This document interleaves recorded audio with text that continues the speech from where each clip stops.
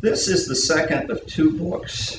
Uh, the first was a history entitled, uh, what was it? Best of Intentions uh, America's Campaign Against Strategic Weapons Proliferation. Uh, I wrote that uh, because I was teaching and I didn't have materials to work with. And I thought, well, look, every other major field, particularly in policy, uh, you know, has a critical history of some sort. You know, policy studies in economics, foreign affairs, military science. They, they all have histories that evaluate and assess various policies, how well they perform. I really could not find anything like that, uh, at least not uh, 17 years ago. And uh, so I thought, look, if this is a serious field, we got to do this somehow. Immediately ran into a problem, and that is how do you write about history, or how do you write a history uh, and, and, and uh, identify and explain what uh, occurred when the key feature of success is making sure certain things don't happen. So you're writing a history about things that didn't happen. it's mildly difficult, if not, you know, impossible. I mean, I think history is tough enough trying to explain things that have happened. I mean, almost everybody gets into deconstructing history. So deconstructing the history of things that didn't happen, I just thought, wow, I can see why no one did this. um, so I took a different approach. Instead of trying to focus first on chronology, uh, I thought what we should do is examine each of the premises of each nonproliferation effort that we've heard about that mattered. Uh, what were they trying to mitigate? Uh, and essentially, what you discover is each initiative that, that's significant had a vision of the next war. Yeah? And you look at these visions, and after you look at them, you, you quickly come to the conclusion that if you get the problem wrong, the solution actually may not help very much. You, you can actually make your real problems worse. Now, I'll give you uh, an example here. Uh, my favorite, of course, is Atoms for Peace, which is the history I first wrote in graduate school that kind of dragged me into what I'm doing now, or have been doing for a long time. Uh, this is an amazing uh, program, and the history is fascinating.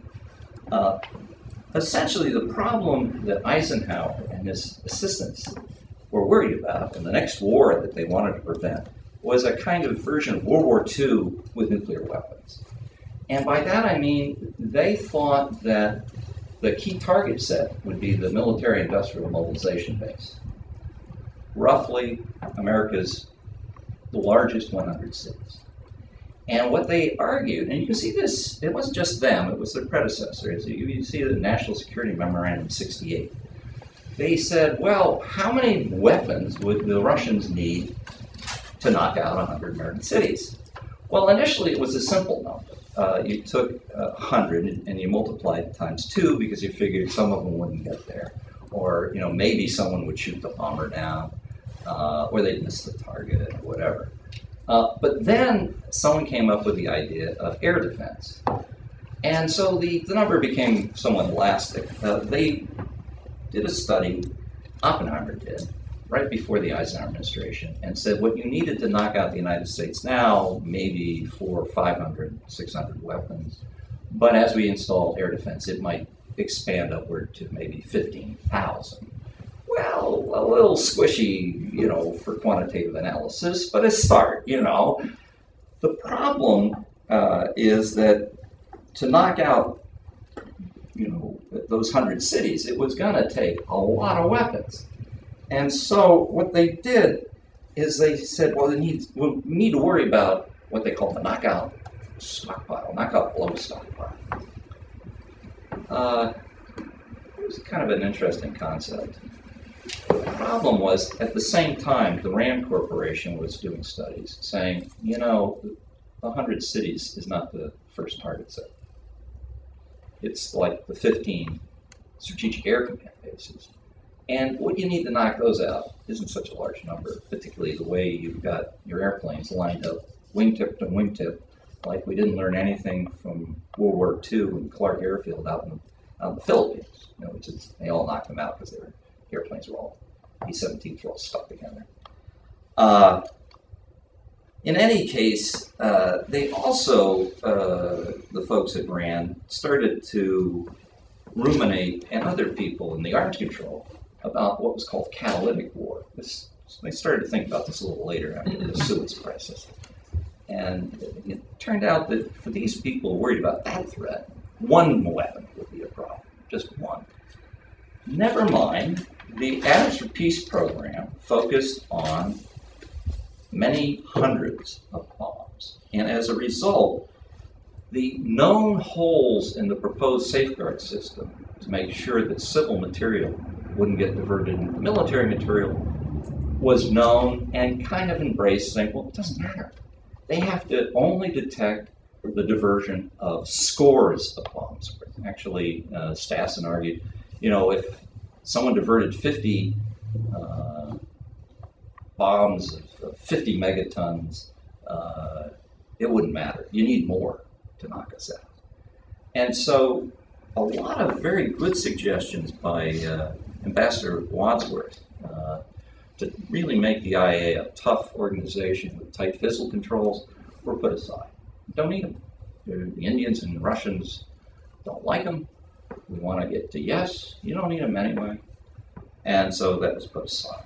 Not only that, but the whole idea behind Atoms for Peace was to promote civil nuclear programs, to draw down the fissile in the Soviet stockpile uh, by forcing them to compete with us selling reactors and fuel so they'd never get to this knockout blow stockpile level. I mean, it was sophisticated, but it was really kooky. and it was wrong. Uh, I would argue the for Peace program, not a real big success story if you're really hard headed about non-proliferation. Okay, you get a taste of it. Um, now, the second book is not about history, it's about the future. I kept teaching, and I noticed another gap in the, in the literature that my students were you know, complaining about. You really didn't have a lot of writing about future trends that went very far. I tend to read stuff about the crisis du jour. You know, Iran, what's happening? What should we do now? North Korea, what's happening? What should we do now? Pakistan, India, what's happening? What should we do now? Okay, fine. But if you wanted to uh, think about major trends and project into the distant future, like folks do in military science, economics, and dare I say it, even political science, not so much available. Now, I think if, again, you want to be a serious field, you got to have at least a bad book on that. and, and we didn't even have a bad book. so, so my contribution is we, you know, I got the ball. Uh, now, I guess uh, I tried to take this on. Uh, I told somebody I would do this. By the way, when you apply for grants, be very careful about what you promise. Some of them notice, and they hold you to it. Uh, so eventually I got done. By the way, it's it started with a promise. I'm a little embarrassed to say, uh, roughly 10, 15 years ago. Well, I had to do a lot of research. You know, a lot of this work hadn't been done yet. In fact, it was going to be much bigger work. And then I said, well, I already wrote that stuff. Why would I want to put it all together? So I distilled it. I saved you the aggravation having to read all the stuff that went into this. In any case, I started by trying to paint as grim a picture as possible. By the way, if you want to know uh, what my prejudice is, I always say, roughly, make it look as horrible as possible so that people will say, that's unacceptable, maybe we should do something about that. Try not to get too carried away. Uh, don't go for the extreme cases, but make a modest argument about how bad things can be. Uh, if that doesn't get a rise out of people, you then realize you're in much deeper trouble than you think. And, and that's useful to know. That's useful enough. So I, I stay away from extreme uh, threat mongering, but I like uh, moderate threat mongering. Sort of somewhere, in try to be a recipient. So what I did is I wrote a, a, a kind of a big piece for a book called The Last Arms Race, or The Next Arms Race, Next Arms Race, the last one I don't know about. Um, I tried to look at trends over the last half century. And I'll just talk about two. There are many others that are discussed in the book. But the two are kind of, I just give you a flavor. Um, if you go back to about 62, which is a good time to go back to because things were rather intense then, uh, Cuban Missile Crisis, things like that occurred around then. It was it was an intense period in Cold War, and also 50 years. Uh, you know, because we're on the decimal system, 50 years. We like 50 years and 100 years, 75 years. So 50 years. Uh, you go back then, you find that the U.S. was extremely dominant. Wait, wait, maybe I have a chart here. Let's see. Yeah. Oh, by the way, my wife did that cover. Does anybody does anybody know what that's a picture of? Yes. A nuclear blast crater. Okay, you get half credit. Who gets full credit? the Trinity site? Trinity, first one, right? No. By the way, that you said this is unforgivable. I think. So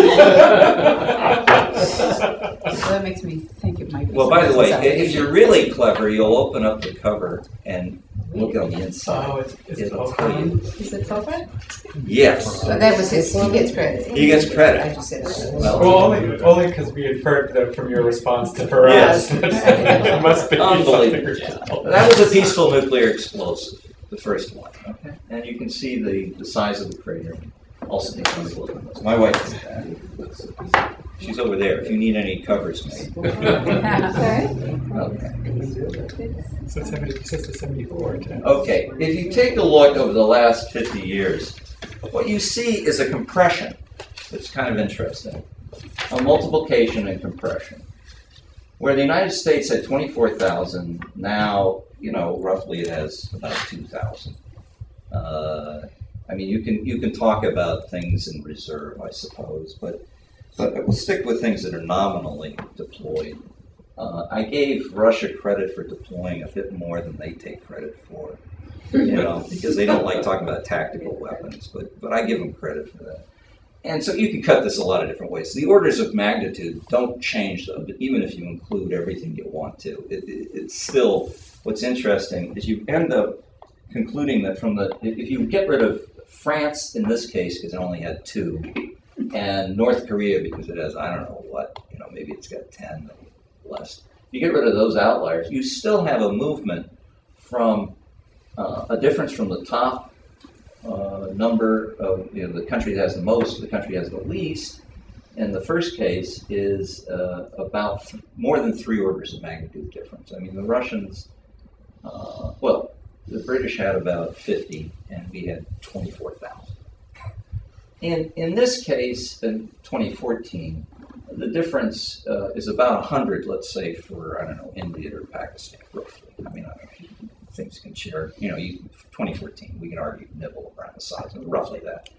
And, you know, Russia had maybe 3,600, you could argue. And so you're now shucking off two orders of magnitude difference between the high and the low.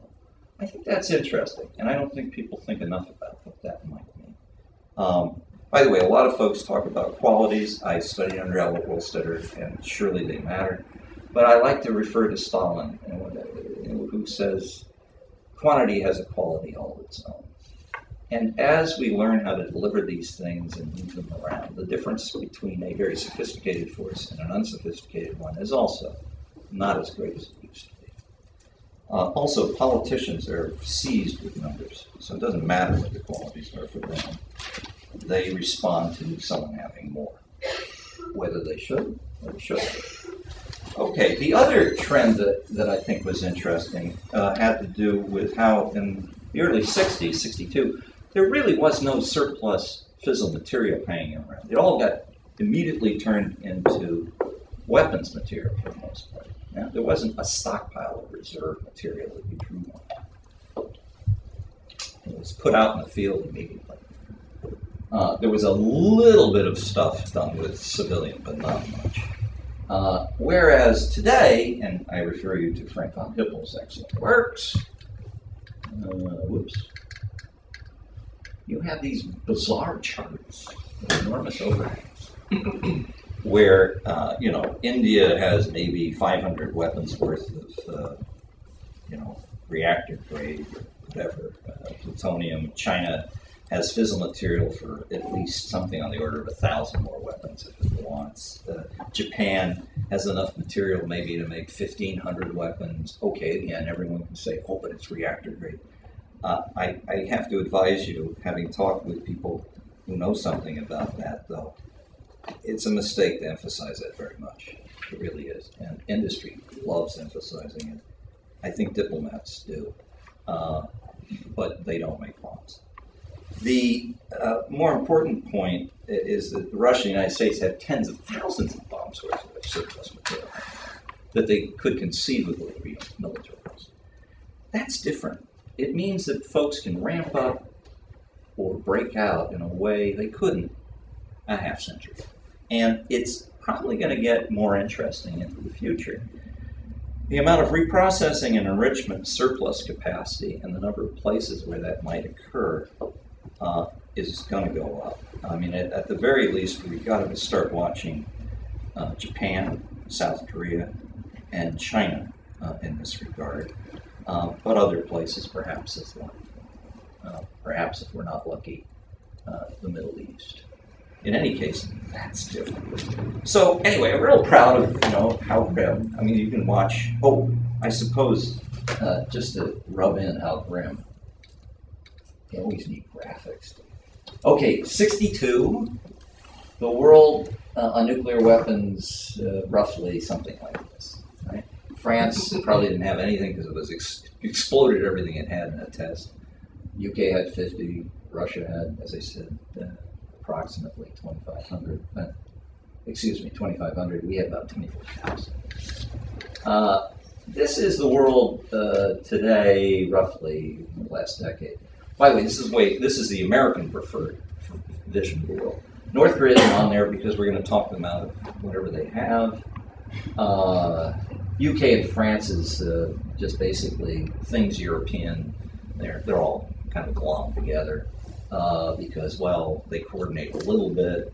Maybe we talk to them about what they should shoot at because they're NATO allies. But you notice everybody's a NATO ally or a non-NATO ally or a strategic partner or a I don't know what that is, strategic stakeholder. By the way, Russia used to be a strategic partner, but I had to erase that. I guess that's not the case for the moment. The point is, everything revolves around us. By the way, I kind of like this. I don't know if it's true. Doesn't sound right, but, but that's how we would like to see the world. Uh, and those are the numbers. You can sort of manage that because all the other relations don't matter. Only we matter and how we relate to these folks. However, I think uh, where we might be heading, according to my view, is something like this.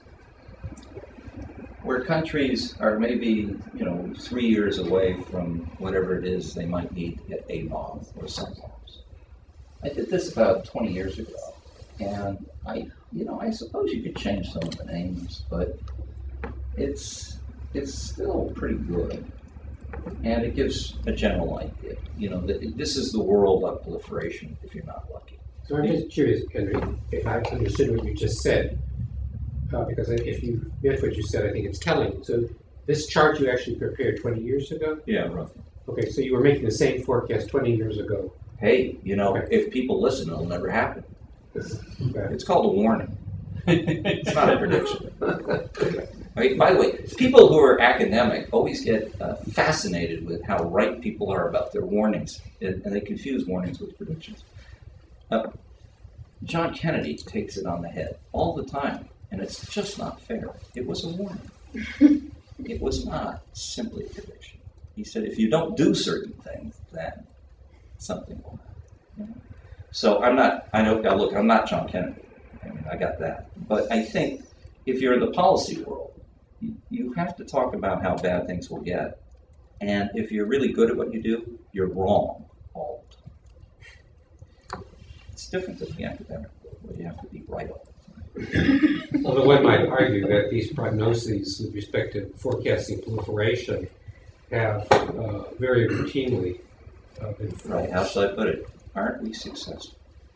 All Don't take credit enough for what you do. All right, anyway, something to think about. I'm screwing with your head, but, you know, someone's gotta do it. All right. Now, I I had a bit of a following when I put this thing out. A few people said, "Oh, wow, this is really clever." By the way, there's another chart uh, I put up which really drives people free. What the heck's that? Yeah, that one. Uh, this was considered, you know, like a breakthrough idea about uh, I don't know how long ago was it? Uh, I guess it must have been six years ago. 2000, yeah, it was like 2009. And the idea is, well, as we come down, will others come up, and do we care? And uh, we'll come back. Anyway, people, I think there was a little bit of following, but not much. I know Rumsfeld mm, uh, was somewhat seized with the idea. And I know he used to be on a board that gave money to me. And I once was at a gathering and asked the question, and he said, Who are you? And I told him my name. He said, Oh, I know who you are. There were like 200 people there. He says, I've read everything you've written. I, I felt like sitting down. I didn't want to ask a question after that. What's your favorite? Yeah, I, I, I didn't, uh, first of all, I don't even remember what I've written, much less, you know, I guess I've read it because I wrote it, but, you know, it was a lot of stuff. So he, I said something in one of these articles about a sprint to equality, and next thing I know, he's talking about a sprint to parity. I can't prove that he read it, but he used some of the same arguments. However, for the most part, I would have to say uh, I was disappointed in the reception. And the reason why is I thought, well, everybody's interested in going to zero, and you know, shouldn't a, a book about or an article about the problem of the spread of nuclear weapons, which was not talked enough about with regard to going to zero, be kind of interesting to people? I think the short answer is not so much. And so uh, I kind of did what I was so good at before. I, I decided to put my work on the book aside. it was 15 years already. I mean, what's another? You know. So I, I said, I, I don't know. Maybe, maybe this isn't so clever.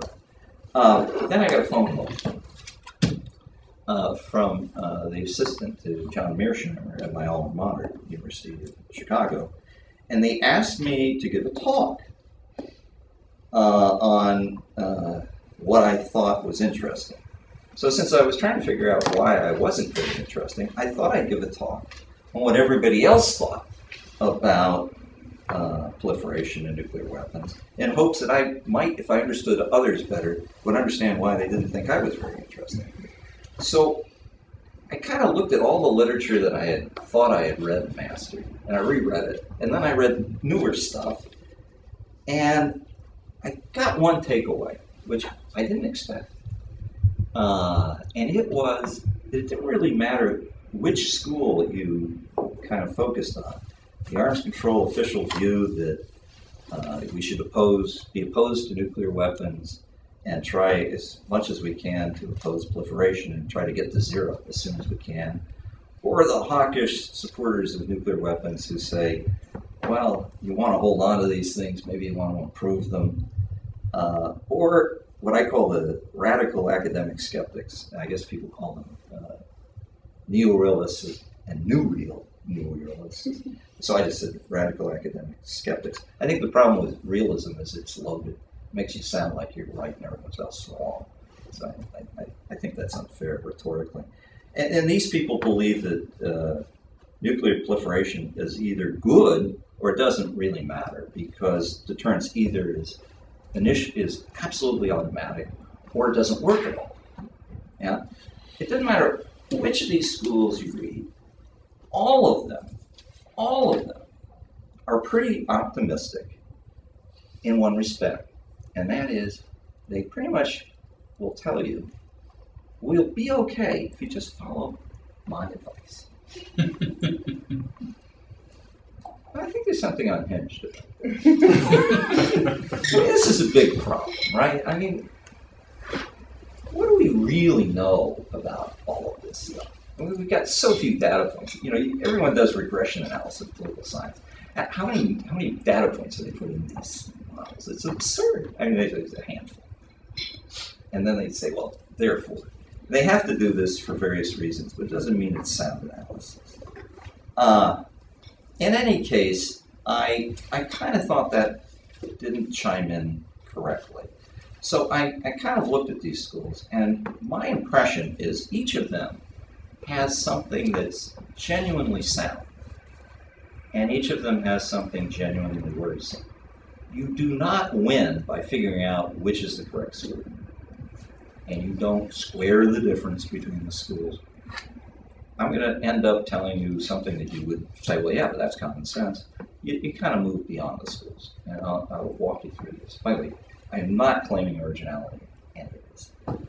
The first school is the school that says, you know, we ought to go down to zero. Uh, it's sort of the official view of a lot of governments, including our own. Uh, arms control view, I guess. By the way, I want you to understand about this topology. Uh, someone called me and was very upset. Well, you put me in the wrong group. and I said, that's okay. We're not even close friends, but I don't want to upset you. I'll take you out of the book.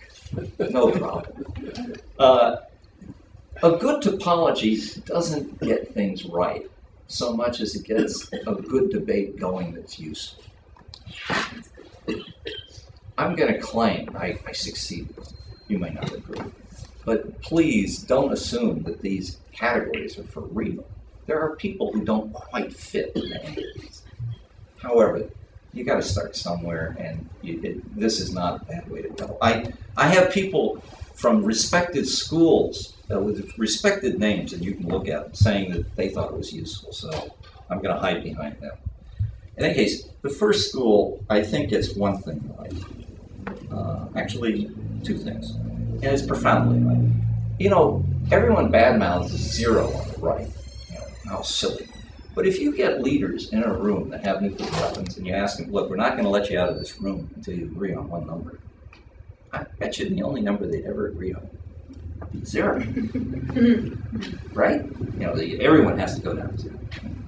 Now, how they get there or whether they get there, that's a separate matter. But it's a really powerful argument. And I think people who, who, who uh, look down their nose at that are foolish.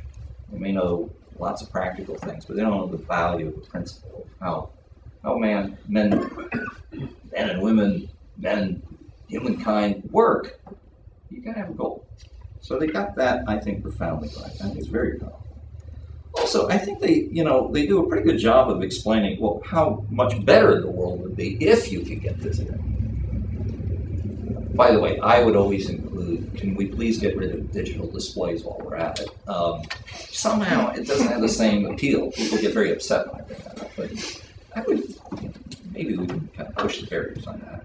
But certainly nuclear energy, I suppose, at some level, if you could get rid of it, um, maybe on balance, that would be a good thing. Uh, good luck getting there, but, but it's a good thing to think about. Also, I think they do a good job of how could you stay at zero? And there's a lot of interesting research as a thought exercise. It's very helpful. However, I think talking about the risks of the transitions to zero um, and the, the dangers, I don't think it's quite as honest or as clear as it needs to be. Uh, this, you know, as you come down, will others come up? Will that matter? Will people misread one one another? I think that actually, whatever you think about nuclear deterrence and its, you know, its real uh, parameters, uh, it's a real open question, a political science question as to how that works. They don't treat that, I think, very seriously, that transition. Also, I think when they talk about deterrence, it's really quite funny. Uh, I once asked a student, well, he wasn't a student, he's actually someone quite famous now uh, who teaches. Uh, I said, What are you working on? I said, Well, I'm trying to explain why nuclear weapons uh, are worthless. I said, Oh, that's great. How do, you, how do you do that? And he said, Well, you know, they're really only good for deterring. and my rejoinder is, I think that sounds like an argument for everyone to get them. if that's all they do, you would want them. Of course, it gets crazier as you start figuring out uh, whether or not you have them or they'll be knocked out. You then have to worry about defending them, and then you have to worry about people attacking, and then you have to be worried about whether you're going to use it. And next thing you know, you're preparing target lists. So deterrence is a slippery slide towards use. If you think about it long enough. By the way, don't take my word for it. There are people who are respected, like uh, Quinlan, who make this point. Kind of interesting they make. Uh, certainly have bona fides as people who are not maniacs. All right. Anyway, uh, not only that, but when you press them on this point, I find there's on a, almost an automatic shift to a different topic. Yes, but what about accidents or terrorism? Now that one's kind of hard to blow off because, gosh, you know that could happen. We've come close. I don't know about the terrorism part, but accidents. Uh, Eric Schlosser could not come here tonight. and He wanted to be here. Um, I've become friendly with him. It's a really remarkable book. Really remarkable book. He's put all of the people in this room and in every other room in the world that thinks they're experts on nuclear weapons to shame. That bibliography in the back of that book is unbelievable. I, I didn't even know about many of those things until I read the book. Man is a reader. He's, he's a troublemaker. And he reads. In any case, I recommend it. Uh, the accident matter is fine, I suppose, but I think one thing, it, it underestimates the other danger that countries might consciously want to use these things. And I think they, you got to get back to that. It, it, that is a real problem, at least as immediate as some of the accidental issues. I think, in addition, the terrorism part, you know, the president somehow was advised to say it's the most immediate and extreme threat that one can imagine. And actually, I don't know how many people know who Greg uh, Thielmann is at the Arms Control Association, but he pointed out uh, at one of my gatherings, you know, an exchange between nations could be much worse than losing a city. Uh, and that may be more immediate or more likely in some cases than the possibility of someone with a ski mask running off with this stuff and torching Peoria. I think that's certainly my impression. I served on uh, a commission that allowed us to have all sorts of clearances, and the commission wanted to say nuclear terrorism was the number one threat until we went to various places in the intelligence community and asked them, uh, "Do you have any um, specific intelligence?" They call it. It's, it's intelligence that's actionable about any nuclear terrorism threats, and the answers we got was no. Well, I mean, there was a lot of brow, browbeating by the chairman. Well, I, you haven't looked hard enough. They were spending, I don't know, 10% of their intelligence budget looking, which seemed like a lot to me. And even though he did a lot of browbeating, um, he got the same answer. And I thought that what that then meant was that it may not be immediate. And I think we took the course on the commission to focus on biological threats as a result, because they at least, we had anthrax letter bombs. You know, this is something that happened. But of course, it wasn't quite as sexy because uh, the number of people involved wasn't very large.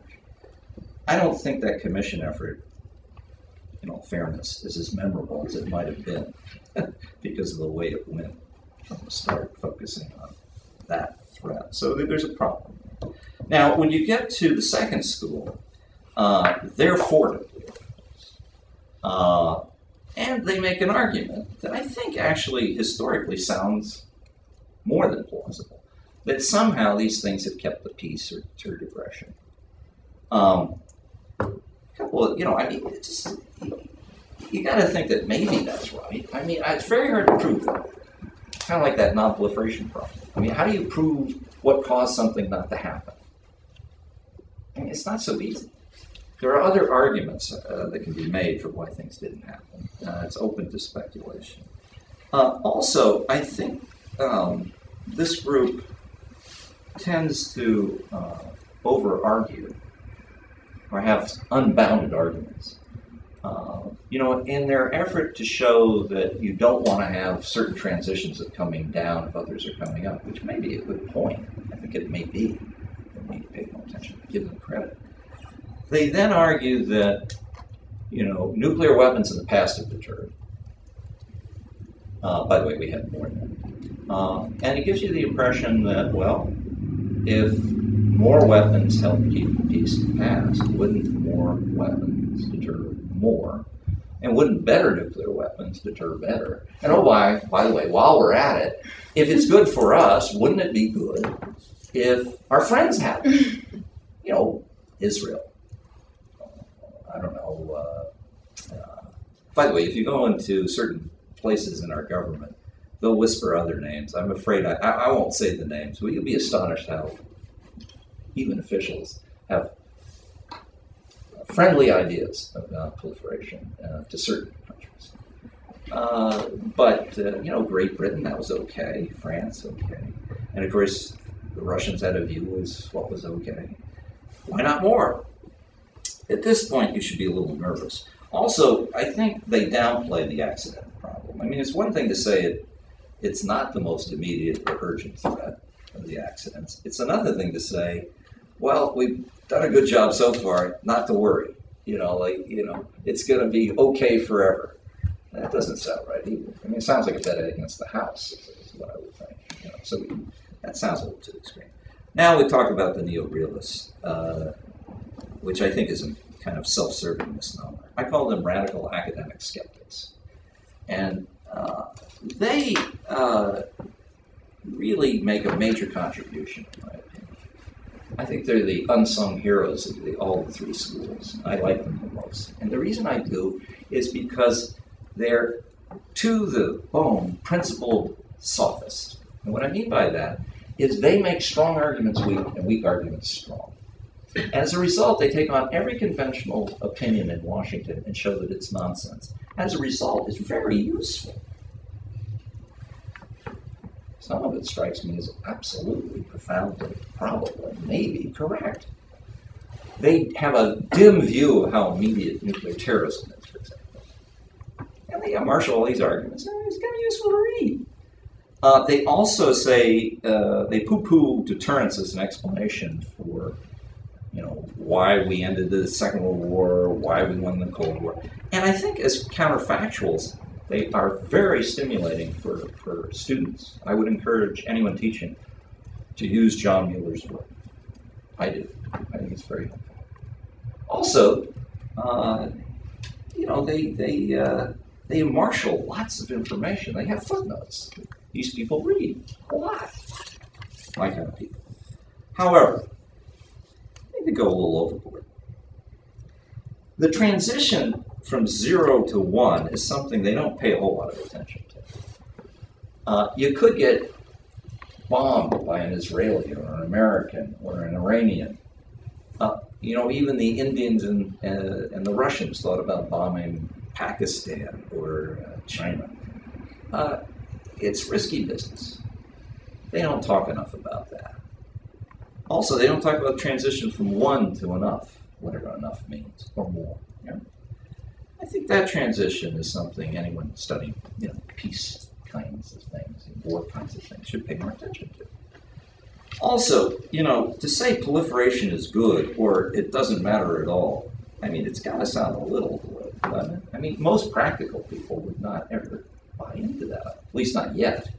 Maybe with enough schooling, you know, we'll have a generation of officials. They'll say, well, it's a mess, but it doesn't matter. You know, we're getting there, but we're not quite there yet. Uh, I think uh, for that reason, uh, also, you see certain practical arguments that are made. Uh, my favorite is that uh, non-proliferation is uh, a bad idea because it causes wars. By the way, this is a view that the Iraq War was primarily driven by a desire to promote non-proliferation. Having been in the Pentagon in an office that was responsible for that, let me give you my view. That's not correct. we can talk privately. I may not convince you, but I think that's nuts. Um, the other thing uh, they say is non-proliferation is preventing us from from uh, benefiting from the spread of uh, money-making, prosperity-driving nuclear power. Somebody doesn't know how to add. That doesn't make. Nonsense. By the way, I talked with John Mueller about this. I said, you know, we ought to work together. You need a good editor because he makes all these arguments. I said, you'd have a great book, even greater if we worked together. We'd become friendly. In any case, uh, now I have to close this thing out. In Washington, the question. Well, let's see. Uh, let's let's stage this. In in in New York, uh, the question is roughly how much do you make? Hmm? Do you have money? Are you gonna get money? In California, I can say this because I'm a native. What are you into? Maybe. Or how do you feel? In Washington, the question is, where are you now? By the way, you know what that's code for? Why should I talk to you? How are you going to get me my next job? it's really that bad. Okay. By the way, why I come to the West Coast as often as I can. Um, it's just healthier. Even New York is healthier in some respects. So I have to answer the question, well, where am I? I think the common sense of, of all of this is not that difficult to tackle. Fewer is better, in fewer hands is better. Transitions, however, are important. How you get down is non trivial. You want not to be alone, you don't want not to know what the others are doing. That's tricky business. But it's worth dedicating yourself towards. I don't think that should be in dispute. Common sense, you'd think. Believe it or not, I haven't seen anybody say that. I mean, it's just amazing. Anyway, so I wrote it out. Now, in specific, a couple of recommendations in the back of the book, and then I'll close it out. Uh, we focus an awful lot of our arms control non-proliferation effort on Europe and European problems. They're historically centered. I think the center of gravity, financially, militarily, politically, is moving towards Asia. And so, sh- so too should our focus on arms control non-proliferation. We need to focus on Asia, and I think China in specific. It's long overdue. I've argued this for some time. In that regard, it would be very useful to focus on two functionalities. By the way, this isn't to the exclusion of the rest of the world. Uh, missiles. By the way, when you talk to people at Chinese, they say, "Oh, you first. You have more. You first, and then the Russians." Yeah, they got a point. I always say, "Okay, let's talk about missiles. You have the most. You first. they don't know what to say. So yours have longer range. Okay, we'll do the short range ones then. then they're really stuck because they got a lot of them, and they're getting better, they're getting better and better and better. Not, not only are they uh, able to carry nuclear warheads, but they can do nuclear missions uh, without nuclear warheads. Uh, with proper cluster and smart munitions, they can do with two of these things what used to only be able to be done with two tactical nuclear missiles. I think that's got to be of some interest to everybody. And if we're not paying attention to that, that's weird. By the way, uh, Reagan, uh, besides saying, you know, we shouldn't fight nuclear war, also said we should eliminate what he called nuclear missiles. Now, I'm not sure even he knew exactly what that meant. But roughly, the expression or manifestation of that desire was the INF Treaty, which eliminated a class of ground based nuclear capable missiles. And I think he thought they mattered the most from looking at notes. And I have looked at notes because those are the ones you use for a first strike, he thought. Kind of like that. It fits with arms control uh, instruction as well. You, you don't have to be a Reagan supporter to think that. You can be, you know, kind of into arms control things like that. So there's a certain appeal. Uh, I think the other thing we really need to get on with is fissile controls. And I don't mean uh, military fissile, I mean fissile that can be made into bombs, whether it's in the military stockpile or not. I've been spending the last three years, I suspect, along with everybody else who's gotten money from MacArthur in East Asia. But it is a problem there. It's getting worse. And the silence of our government on these topics is appalling. By the way, this is not a partisan comment. I don't think it'll change, it'll change the team. We don't want to offend our friends, that's South Korea and Japan, and as a result, uh, we're not saying enough what they shouldn't get into. And with regard to the Chinese, we're, we're so enthusiastic with Japan and Korea and China about promoting nuclear power. We think you can't be against breeders or reprocessing enough. So we want to talk about the fuel cycles of the future. I quote the president. In Asia, what does that mean? It's closing the fuel cycle. It's recycling, which means breeders, fast reactors. We are actively promoting this in all three of these countries. I would roughly say that's not helpful.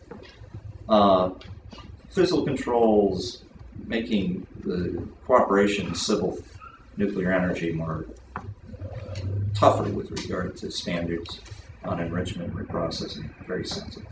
Uh, two last things. Um, you need to start thinking not about verifying or enforcing nonproliferation. By then, it's too late. I. At least, I mean, if I don't know what your position is on the Iran deal, but let's just all agree about one thing: it's not pretty. I mean, that much we can. I mean, you wouldn't want to be doing that a lot could avoid. Um, similarly, you know, bombing things strikes me as not a great way to go. It's not my first choice, I'll tell you that. It seems to me if you act earlier, on first indications before you clearly verify, you don't have to do anything dramatic or deadly. I know I've had an opportunity in government to work with others to actually have some successes uh, where we really didn't have to do a whole lot, but we acted early. Um, I think finally, there's a, a kind of trivialization and denigration, uh, degradation, degradation, what's the word? Denigration. Okay. That's why I'm married. Um, Depends what you say. we downplay and badmouth international law. And part of it, I think, is it became very much in vogue to interpret international law, I think, after the war in a way which restrained us a lot more than some of the folks we have to compete with. And so hard headed people just dismiss it entirely now. Uh, I would appeal to everyone to, when they come to Washington, go to the National Defense University, there is a building uh, that's dedicated to the War College, and it, it's named after Secretary of War Root. He uh, was not only Secretary of War, he was the founder of the American Association for International Law. And as he explained it, he said, you know, if you can convince people of what's fair, uh, more often than not, it's going to serve your interests. Beats bombing. Having a kind of hard headed international law approach strikes me as something we need to get back to. With that, I'll, I'll conclude. And